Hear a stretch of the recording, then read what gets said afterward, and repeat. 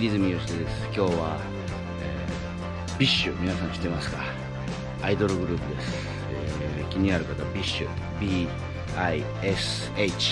調べてみてください。もう熱い6人の女の子たちです、えー日本に行ってからもねずっとねファンを増やしてましたね。僕の周りの友達をね、えーとにかくハマりました私。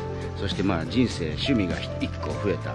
この YouTube のテーマでもある、えー楽しいとワクワクですよね。その楽しいとワクワクの一つが、えー増えたんですね。これはもうワクワクしかありません。ということでバリに帰ってきて、えプロジェクあ日本でねプロジェクターとか DVD とか買い漁ってきました。何のためか。バリでビッシュ会を開くためです。バリにもビッシュのファンがいます。僕にビッシュを教えてくれた人とかね、えーそれ以後知り合ったね、えー先生みたいな人がいます。その人たちを呼んで、えービッシュ会をします。そしてね今日の動画はねインドネシア人のにね、えービッシュを広めるためのまずは第一歩一緒に見てもらいます。ででリアクション動画みたいなねあの見る前と見た後の、検証。検証じゃねえな。ビッシュいかがでした？どうでしたか？どう思いましたか？みたいなね。あれを撮りました。撮りたいと思います。ね、えー楽しいとワクワクディズニー流の、え YouTube で表現するとこうなりますっていう動画ですね。お楽しみください。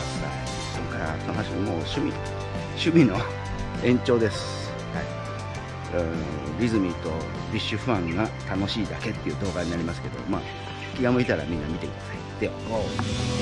さあ本番の白いボードはまだ買ってませんがテスト中です。この距離感とか今調べて、えー夜見れるように準備中です。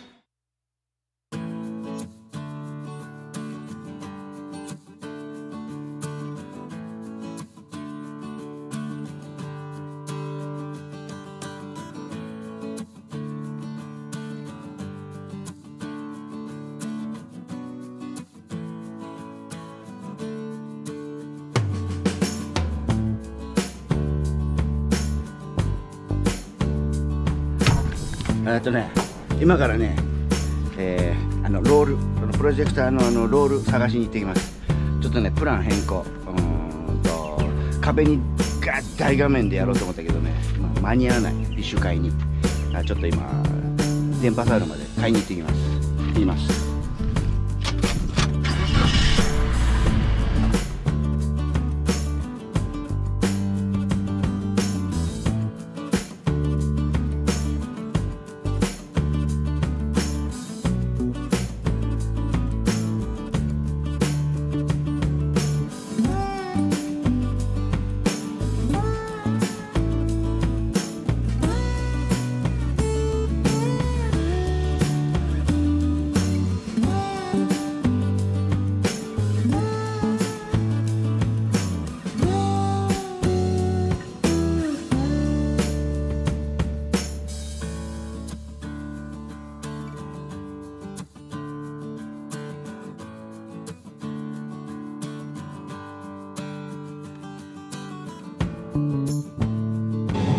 さてさて次が今迷ってる？迷ってる？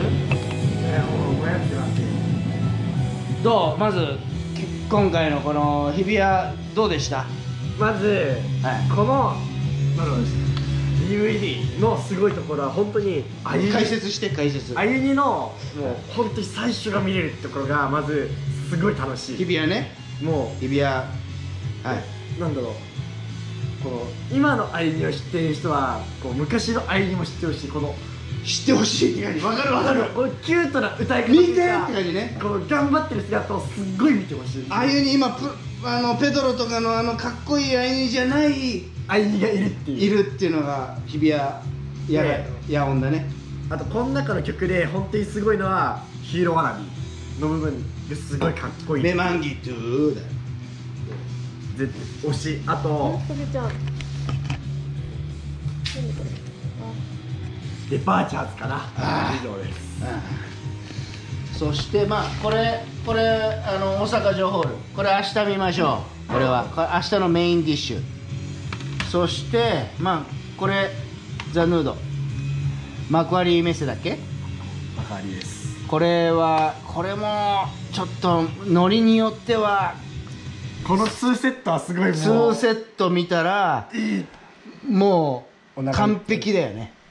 それでなんかもうビッシュ最高ってなった人はまたこれもこれを次回でしょ？ってことは今日これ見たらそしてリがプレゼント。開けちゃっていいですか？どうぞこれは自待って分で待って待って。ちょっと見えちゃった。君にあげるよ。まず桃子組の。これ本当に読みたかったうわ おおうおおっつ。よし。これはずるいっすよ。よしよし これは、えー、と山中さんっていうさっき言ってた人が5冊買ってくれた。5冊？なぜかっていうと俺用利我用まあそのその他それぞれ要するに利我の分も買ってくれたの。よかったよかった。ということで次インターバル置いてみるのはこれでいいんじゃないの？賛成っす。でしょ？おのずとこれになる。じまずまあ何がすごいっていうのがはい。まずあのカメラに向かってまず何がすごいっていうのが何がはい。歩み見てください。あゆに見てます。はい。あゆにが。はい。超かわいい。超かわいい。それに比べて桃子組はい。ヘアカットが変わっているという。なんと。マニアックだね。いいね。しかも多分この時はリンリンがなんかまだこうみんなから見てあ普通だなってたらみんなは知らないんですよ。リンリンの可愛さをなるほど。それを自分は伝えたいです。なるほど。以上です。オッケーありがとうございました。ビッシュを世界に広めます。世界っていうよりもインドネシアでライブをやりたいよね。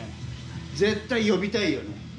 呼ぶためにはまずは一人一人の力が。力が必要。清掃員をインドネシア人の清掃員を増やすこと頑張りましょう。頑張りましょう。絶対頑張る毎日。